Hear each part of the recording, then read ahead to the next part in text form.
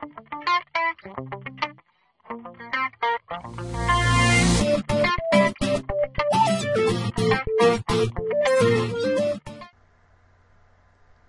and welcome back to another tutorial.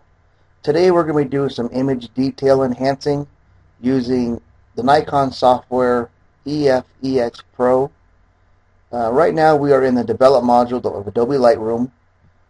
We're going to just do some quick adjustments before sending the image over into the Nikon software to get the detail out of the image. This image was sent in to us for someone who's trying to get the detail out of an image and can't do it with Lightroom. So you have to use a third party to get the image to look the way that it was. Um, first, we you should be shooting all of your photos in RAW, or we could not even do this on a JPEG image. The image was taken with a Nikon D3000 camera. Uh, it was shot at 1 200th of a second at f10 at ISO 200. So if we look at the image, you're going to see it is pretty clear. Uh, we will have a little bit of detail we need to smooth out in the image, and that's what we're going to use Lightroom for before we actually import it into the Nikon software. So on the right hand side under your adjustment panel, we're just going to do some real quick adjustments. Um, we'll take this back to where it was. Now this was the image that was sent to us. So first thing we need to do is go under the highlights here we're going to take out some of the highlights. So I'm going to go minus 75 on the keypad. We'll darken up the skies a little bit and leave the insides a little bit uh, brighter. Blacks, we need to have this down uh, probably to say minus 50 on the, on the black.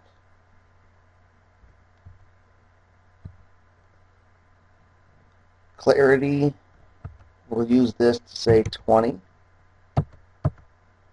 using the tab key to go from slider to slider. I'm going to leave the highlights, the lights, the darks, the shadows alone. Color, uh, saturation, I'm going to leave alone. Uh, we'll use Nikon software to do this. Uh, split toning, we're going to leave the same. Sharpening, we're not going to have to do a lot with this image right now, so let's just bring this up to say 25.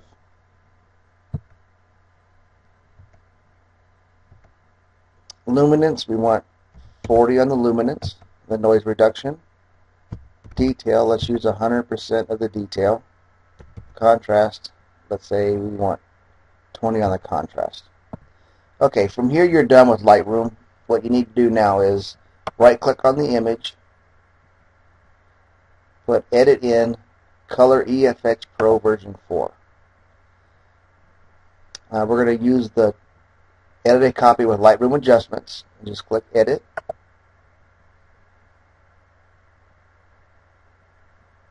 Now Lightroom will import the image into the Nikon software to do the final detail image to bring out the color of the sky, highlight the color of the trees. Kind of makes the, the image look as if it was almost painted.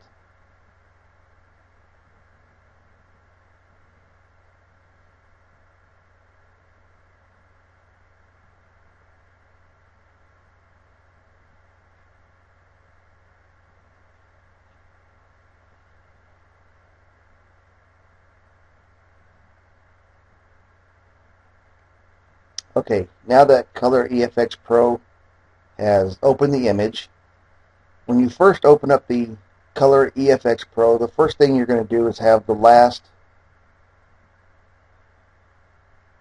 filter that you used show up on on the right side of your, your photo. On this photo, you have three options. Um, the detail extractor is the first thing we used. So if I close this out, this is the image straight from Lightroom. So you can step through the, uh, the steps if you'd like to this way. So we're going to go on the left-hand side over here. We're going to click on the Detail Extractor. And it gives us options here on this way that we want this image to stand out. So what I do is I'll click on Instead of, this just gives you the preview. We'll just click here on the detail extractor, which will now bring up the image with some filters already applied to it. On the left hand, right hand side, sorry, you have you can use the fine adjustment, a normal adjustment, or a large adjustment. On this image, I'll use the normal adjustment and hit the Add Filter button. And then go back to the left-hand side again, bring out the coloring of the sky, and we're going to use the sunlight filter. And on this one, we're going to use a strong filter, which will now bring out the color of the sun behind it. So once we've done that, we hit the Add Filter one more time. Hit the back button. And now we want these trees, the palm trees in the foreground to stand out. So we're going to go up here to the foliage. And let's pick a strong green on this one.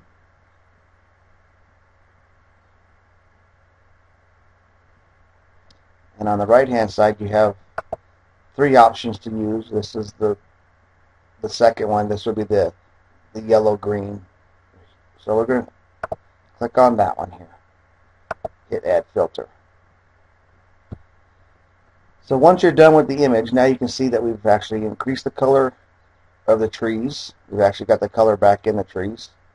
You can actually see the sun rays now, as where before it almost didn't look Uh, like you could see anything at all up under the top left hand side you have a single view or a split view. So when you click on the split view you'll see the left side is what we started with, the right side is now with the filters enhanced on it.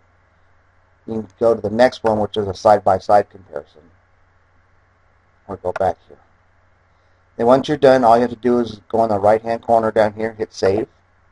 This will import the image back into Lightroom so you can do some final adjustments because you're going to have a little bit of noise added to the image. So we're going to use Lightroom to go back and kind of smooth those out to bring out even more of the detail of your image.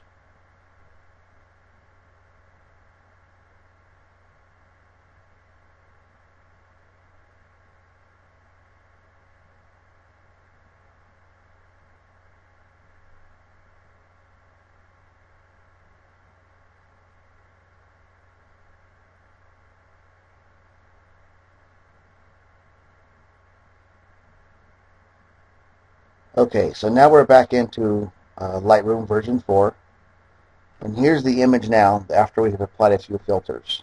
So if we click into the image, you can see now on the hills here we have a little bit of pixelation, the noise that was added when you add these other filters.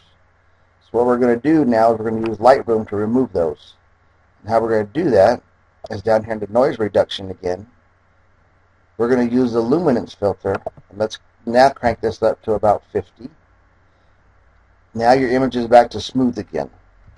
Detail, we want 100% of the detail, which will give it the texture, but will remove the the noise from the with the luminance.